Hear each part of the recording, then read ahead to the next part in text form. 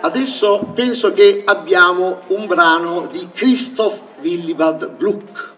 Allora dite, ma questo qui sta poco bene perché prima ci ha detto che sono tutti musicisti italiani e adesso ci mette un musicista tedesco, cosa c'entra con i musicisti italiani? C'entra, l'ho messo apposta. Anzitutto perché eh, Gluck fu il riformatore del melodramma. Secondo perché essendo tedesco voi vedete che l'opera che ha musicato è Orfeo ed Euridice.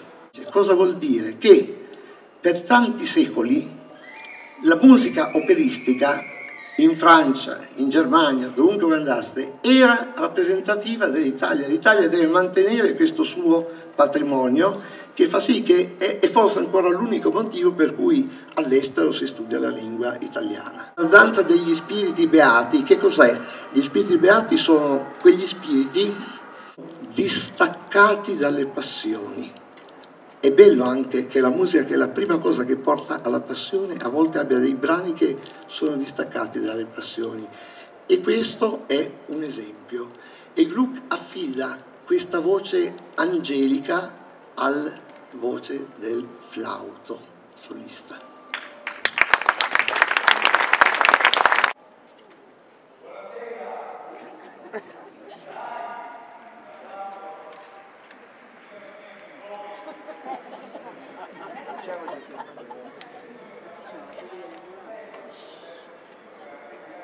La volta prossima vi preparo la danza dei demoni.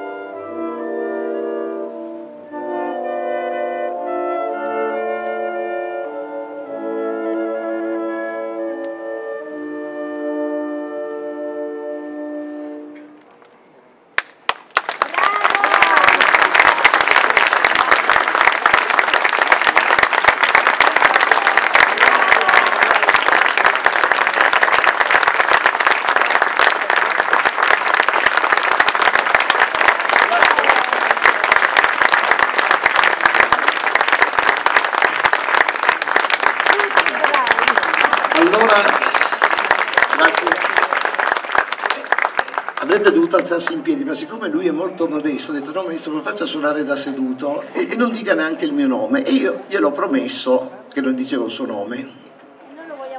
E infatti adesso glielo faccio dire a lui. Eh. Io mi chiamo Luigi Massini, vengo dalle Marche come i miei compagni. E sei bravissimo!